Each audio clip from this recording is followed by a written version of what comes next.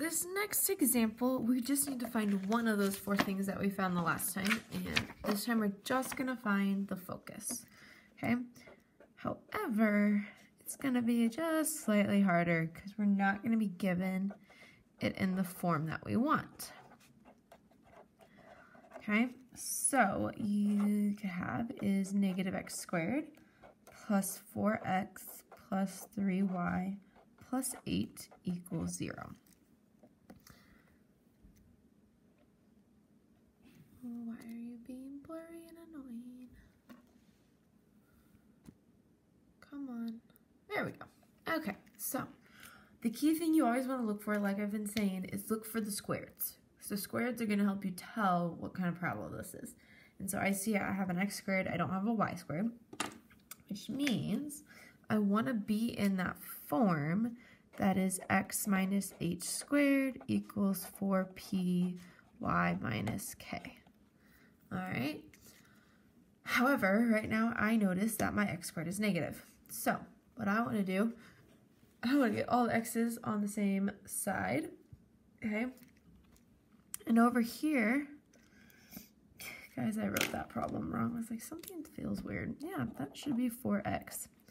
Okay. So I want to get all the x's on the same side, and I want to get all the y and the number on the same side. My thing right now is, I know I typically have x squared on the left. However, I have a negative here, and so I'm just going to add it over to the right so I don't have to deal with negatives anymore, okay? And it'll make my life a lot easier. So what we're going to start with is I'm moving all the x's over. So I'm left with 3y plus 8 equals x squared minus 4x. Okay.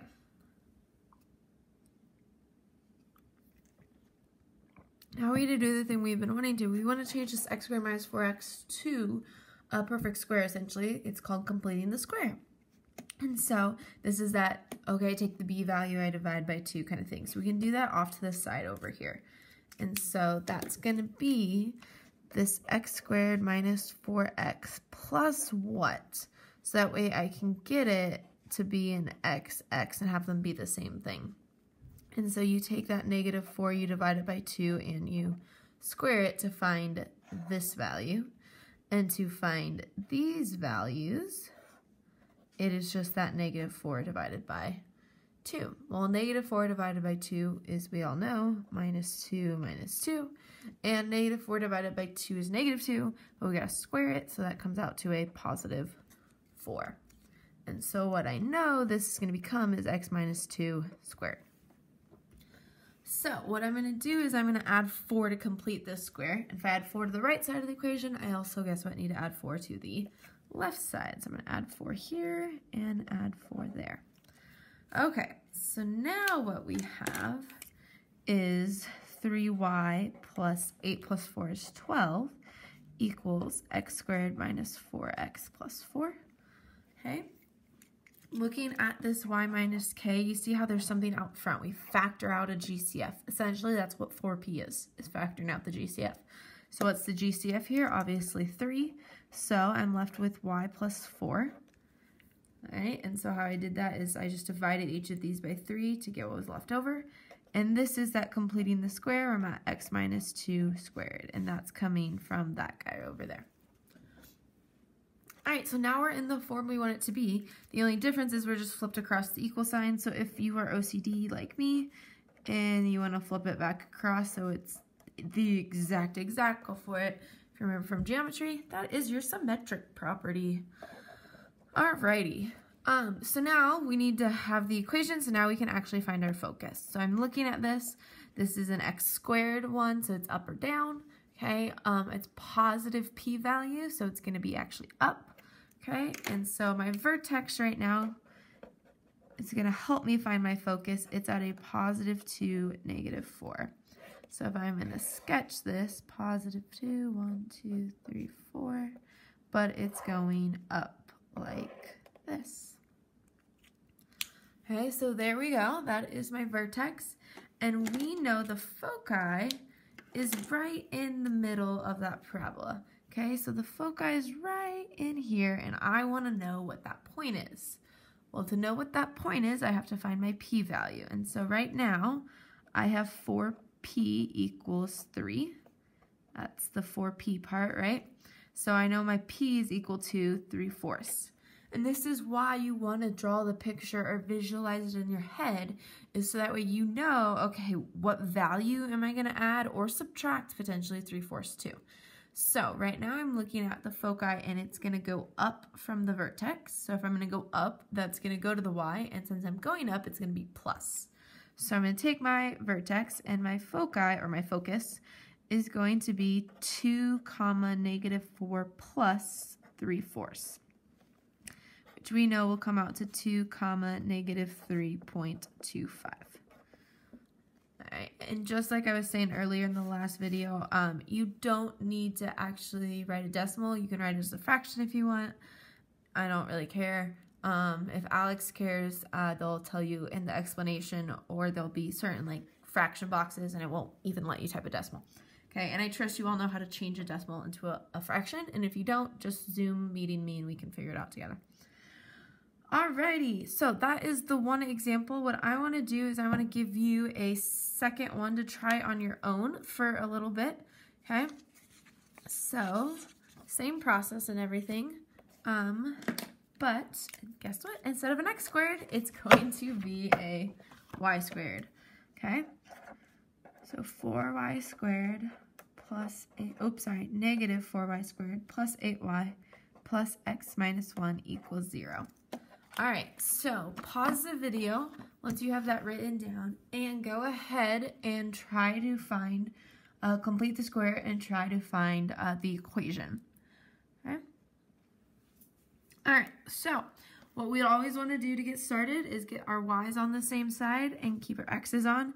Because I have a negative leading coefficient, I'm just going to move that over. So I'm going to have an x plus 1 equals a negative 4y squared. Oh, sorry is early. Okay, positive 4y squared, but minus the 8y.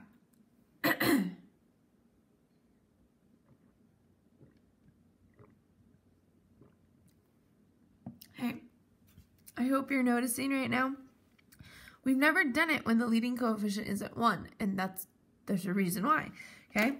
Because our equation is always y minus k squared equals 4p x minus h.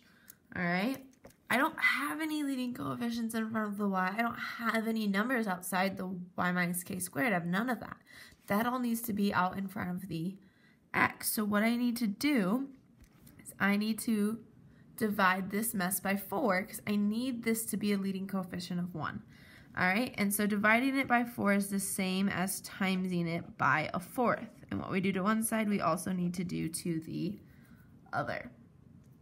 Okay, so we're going to have 1 fourth x plus 1 equals y squared minus 2y. All right, I hope we're doing okay so far. If you want to distribute the 1 fourth in, you can, okay? Or you can leave it factored out um, outside. Uh, it's right now it doesn't really matter, but eventually when we're going to complete the square, you're going to need to add the one-fourth and something together kind of thing. All right, so here we go. We need to go ahead and complete the square. So we can do that off to the side. I have my y squared minus 2y, and I need to add something to it. So I know what goes here is my uh, negative 2, your b value, divided by 2, and then you square it, which becomes just 1. Okay, and so now we just know that's y minus 1 times y minus 1, which is y minus 1 squared.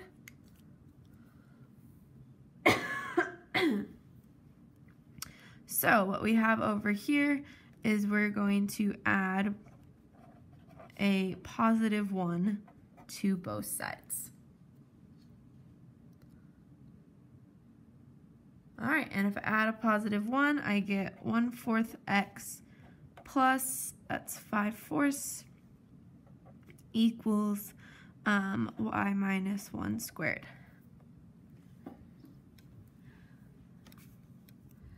All right, and so this is the weirdest thing, is remember, we want to have this 4p x minus h thing. And so I need to find a GCF of 1 fourth and 5 fourths. And I hope most of you are realizing I don't think there is one. Or if there is one, I don't want to deal with it because it's fractions and that seems disgusting. Okay. Um, reality is, is trying to mess with this is just going to get super, super nasty.